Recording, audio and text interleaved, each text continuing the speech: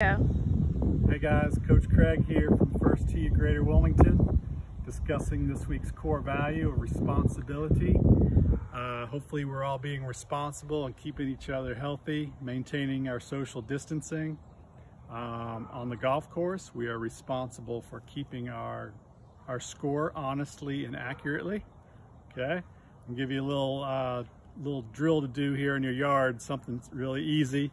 Call it leapfrog chipping. Helps you with your distance control. Come on over here. So chip three balls and try to chip each one a little bit further than the last, okay? One, went a little too far. Uh-oh. Ah, just got by it. And last one, see if I can do a little bit further than the last.